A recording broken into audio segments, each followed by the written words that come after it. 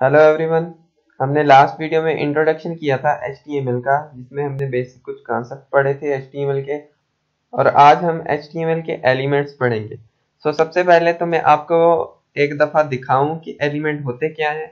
उसके बाद हम एलिमेंट की डेफिनेशन या हम एलिमेंट को कैसे डिफाइन करते हैं उस चीज़ को देखते हैं।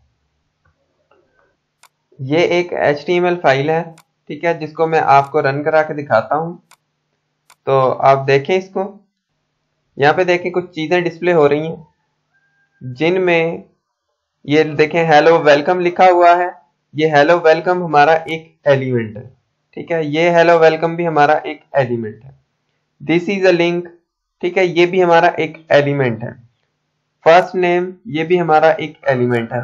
ये जो आपको बॉक्स नज़र आ रहा है, ये भी एक एलिमेंट है, ठीक है? ये जो लास्ट नेम है, ये भी एलिमेंट है। ये सारे के सारे क्या है? हमारे एलिमेंट्स हैं। इनको हम डिफाइन करते हैं एच के टैग से। ठीक है?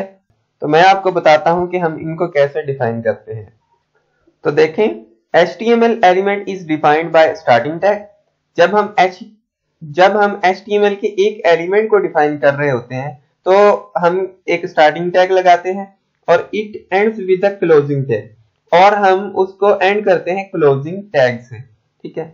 तो एक स्टार्टिंग टैग होता है एलिमेंट को डिफाइन करने का और एक क्लोजिंग टैग होता है। और उसके बीच में एलिमेंट का कंटेंट होता है। एक चीज़ मैं आपको बता दूँ कि एच के जो सभी एलिमेंट्स हैं, उनमें लाजमी नहीं है कि स्टार्टिंग टैग और क्लोजिंग टैग हो। काफ़ी ऐसे होते हैं जिनमें स्टार्टिंग टैग नहीं होता, जो मैं आपको आगे जाकर बताऊँगा कि कैसे उनमें नहीं होता और क्यों नहीं होता। ठीक है? ये आप देखें एच एलिमेंट्स को हम कैसे डिफाइन करते हैं।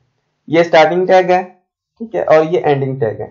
स्टार्टिंग टैग के अंदर हम लेस देन और ग्रेटर देन सिंबल के अंदर टैग का नाम लिखते हैं, ठीक है।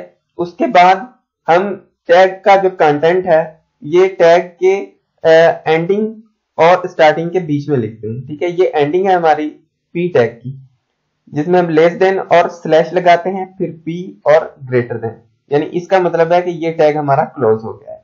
और इसके अंदर जो इस टैग का कंटेंट होगा, वो हम लिखेंगे। ये एक पैराग्राफ टैग है तो हम इसके अंदर पैराग्राफ लिख सकते हैं। ऐसे ये एक टैग है, जो स्टार्टिंग टैग है और ये एंडिंग टैग है, इसके अंदर कंटेंट आएगा। ये भी एक टैग है, ठीक है? ये स्टार्टिंग है और ये एंडिंग है और इसके अंदर कंटेंट आएगा। ऐसे सो ऑन ठीक है? मतलब ऐसे बहुत सारे टैग्स हैं, जो हम ऐसे ही डिफाइन करते हैं। ये एक एग्ज़ाम्पल था।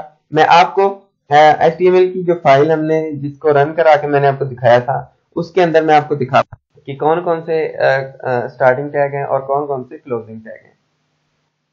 तो आप यहाँ पे देखें अगर आप देख पा रहे हैं, ये देखें आप, ये टाइटल टैग स्टार्टिंग है और ये टाइटल टैग क्लोज है, ठीक है?